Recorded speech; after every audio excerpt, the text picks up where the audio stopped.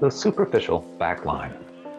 The superficial back line is one myofascial continuity from the bottom of the toes to the back of the head. The superficial back line has a strong postural function you cannot develop from lying on your back to lying on your stomach to sitting to progressively standing and walking without the superficial back line being constantly engaged and in a coordinated way. If you were to contract the entire superficial back line, you'd go into a back bend. A forward bend stretches it. Uh, and it is all extensors except for the genetic flexion at the knee.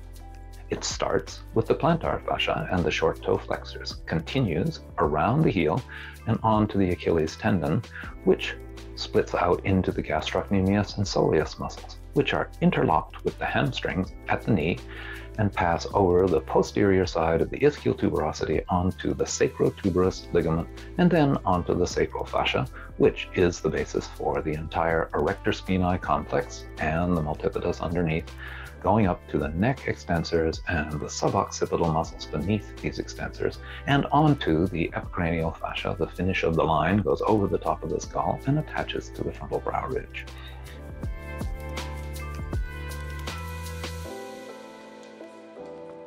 Rear view of the superficial backline SBL, which begins at the head extensors and descends through the erector spinae to the hamstrings, the gastrocnemius, and the foot muscles.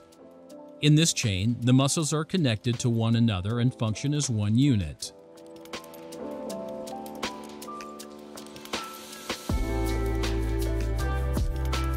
Wide-legged forward bend, Prasarita Padottanasana. The superficial back line connects and protects the entire posterior surface of the body like a carapace from the bottom of the foot to the top of the head in two pieces, toes to knees and knees to brow. When the knees are extended, as in the current pose, the superficial back line functions as one continuous line of integrated myofascial.